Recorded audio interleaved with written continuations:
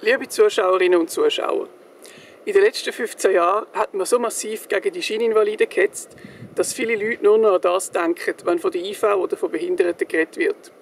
Darum können Politiker jetzt auch jeden Rentenabbau und jeden Abbau von der Rechte von behinderten Menschen ohne Problem durchbringen.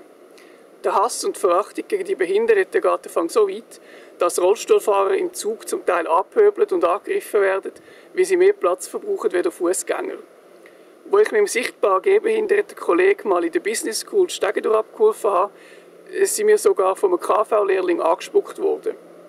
Es ist höchste Zeit, dass sich Behinderte und ihre Angehörigen und Freunde endlich anfangen zu wehren.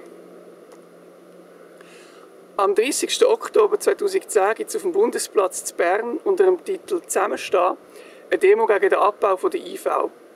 Für mich geht es bei dieser Demo aber um viel mehr als nur um den IV-Abbau. Es ist nämlich auch eine Gelegenheit, um allen Leuten, die meinen, sie seien etwas Besseres, klarzumachen, dass wir keine Bürger zweiter Klasse sind und uns auch nicht mehr so behandeln lassen. Darum bitte ich euch, tut auch etwas, damit die Demo ein Erfolg wird. Auch wenn ihr selber an dem Tag keine Zeit habt, könnt ihr ja euren Bekannten davon erzählen oder über Facebook oder E-Mail ein paar Einladungen verschicken oder irgend so etwas. Ich bin mir sicher, jedem fällt etwas ein, was er oder sie tun kann. Messi.